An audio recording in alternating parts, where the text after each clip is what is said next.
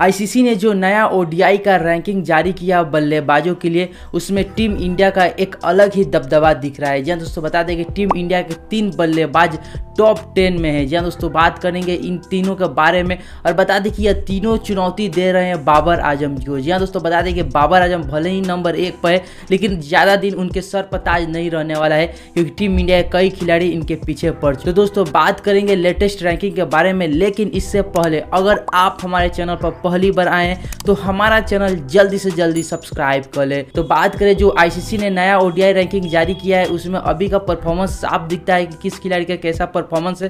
बता दें कि बाबर आज़म भी अच्छा परफॉर्मेंस किया है। अभी नेपाल के खिलाफ 150 का पारी खेले थे।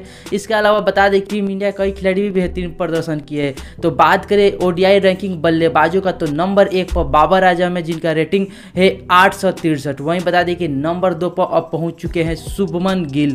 जी दोस्तों, जिनका रेटिंग है सात सौ उनसठ। जी दोस्तों, लगभग सौ रेटिंग का फ़र्क है, लेकिन शुभमन गिल अच्छा परफॉर्मेंस करते हैं तो ज़रूर नंबर एक पर आ सकते हैं। और टीम इंडिया की तरफ़ से बेस्ट रैंकिंग वाले बल्लेबाज बन चुके हैं शुभमन गिल। अभी करंट का बात करे थे वहीं बात करें नंबर तीन सेवन डूशन जी हाँ दोस्तों, यह साउथ अफ्रीका खिलाड़ी है। सात सौ पचहत्तर है इनका रेटिंग डेविड वार्नर जो कि ऑस्ट्रेलिया के और इनका जो रेटिंग है सात सौ उनतालीस है। वही नंबर पाँच पर इमामुल हक, जो कि पाकिस्तान की है, और सात सौ पैंतीस इनका रेटिंग है। वहीं बात करें नंबर छः पर हैरी टेकर जो कि आयरलैंड के खिलाड़ी है और सात सौ छब्बीस रेटिंग है। वहीं बता दें कि नंबर सात पर है क्विंटन डिकॉक जो कि साउथ अफ्रीका खिलाड़ी है, सात सौ इक्कीस रेटिंग है। वहीं बता दें कि नंबर आठ पर है विराट कोहली। जहाँ दोस्तों, इनका सात सौ पंद्रह रेटिंग है। वहीं बता दें कि नंबर नौ पर है रोहित शर्मा, जिनका सात सौ सात रेटिंग है। वहीं बता दें कि नंबर दस पर है फ़खर जमान जिनका सात सौ पाँच रेटिंग है। तो दोस्तों, यह है लेटेस्ट रैंकिंग आईसीसी का ओडीआई का बल्लेबाजों का। तो दोस्तों, आपको क्या लगता है, क्या शुभमन गिल बाबर आज़म को पछाड़ पाएँगे